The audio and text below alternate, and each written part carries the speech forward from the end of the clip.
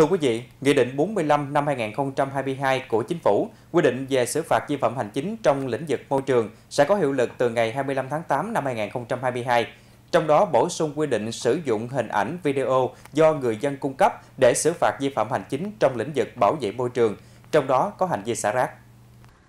Quy định này được thể hiện tại Điều 8 Nghị định số 45 năm 2022 của Chính phủ về sử dụng kết quả dữ liệu thu được từ phương tiện, thiết bị kỹ thuật trong việc phát hiện, xử phạt vi phạm hành chính trong lĩnh vực bảo vệ môi trường. Trong đó, chỉ sử dụng phương tiện, thiết bị kỹ thuật nghiệp vụ và dữ liệu thu được từ phương tiện, thiết bị kỹ thuật do cá nhân tổ chức cung cấp để phát hiện vi phạm hành chính trong lĩnh vực bảo vệ môi trường được thực hiện theo quy định của Chính phủ. Kết quả thu thập được bằng phương tiện, thiết bị kỹ thuật được so sánh với nồng độ tối đa cho phép của các thông số môi trường trong quy chuẩn kỹ thuật hiện hành để xác định hành vi vi phạm hành chính.